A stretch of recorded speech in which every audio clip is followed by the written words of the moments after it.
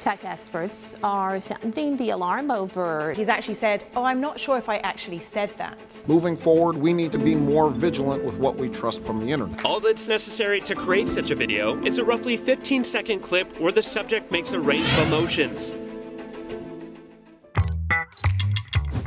Hi, welcome to cybernews.com a site of discoveries and opinions in the field of cybersecurity. In this video, we'll dive into the dark future that deepfakes and artificial intelligence could have in store. We've all heard the saying, straight from the horse's mouth. But when it comes to the AI manipulated videos, it's a little harder to determine who's actually said what. When it comes to deepfakes, the possibilities seem pretty endless. And as this technology becomes more sophisticated, we need to be ready.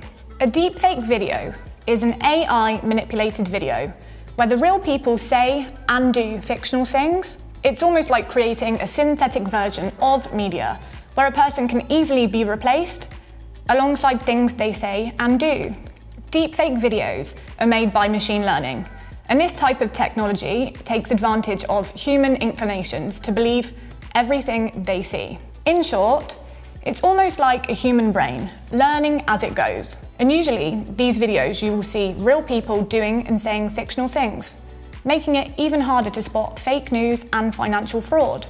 Deepfake originally targeted celebrities, and presumably, this is because there is such a huge amount of footage available to feed into the algorithm.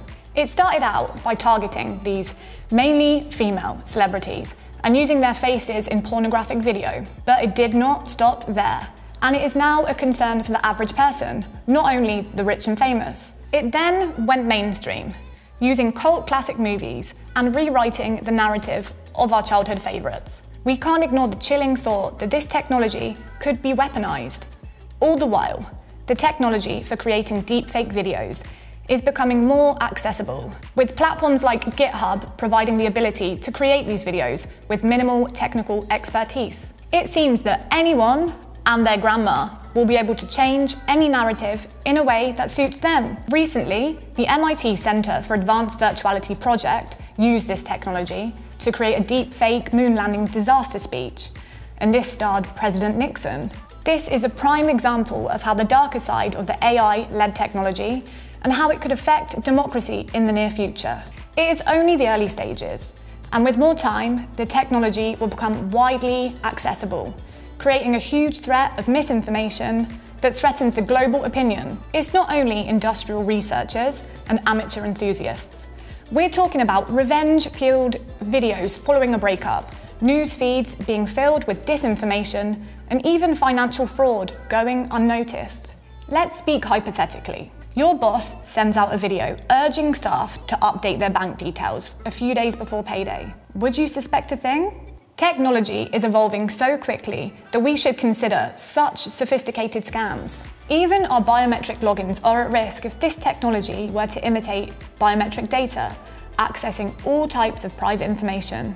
Whilst these scenarios might seem a little bit Hollywood, we're already seeing huge parallels between TV, scenarios, and our own reality. While learning how to spot a deepfake is increasingly difficult, I think first and foremost that keeping up to date with technology advances will always be a benefit. Checking on our website, the link is down in the description, is a sure way of doing this. Originally, a foolproof way of determining a deepfake video was when the person in the video never blinked. That's right. This high-level technology was once determined by the blink of an eye or lack thereof. But before you could say the word deepfake, this technology took one step ahead and evolved, rendering this form of detection useless.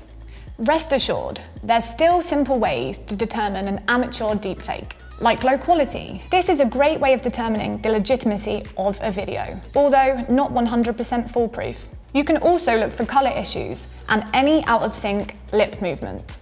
If you're especially eagle-eyed, you should also check the small details, the hair and the lighting, as these are really difficult to render well.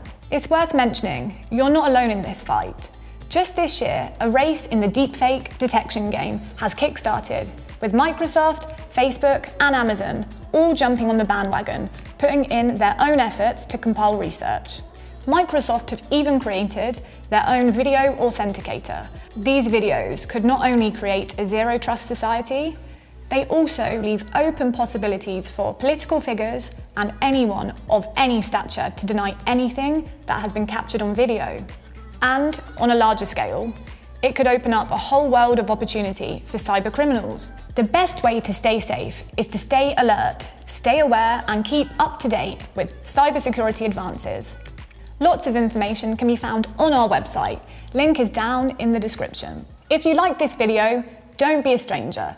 Drop us a like and don't forget to subscribe.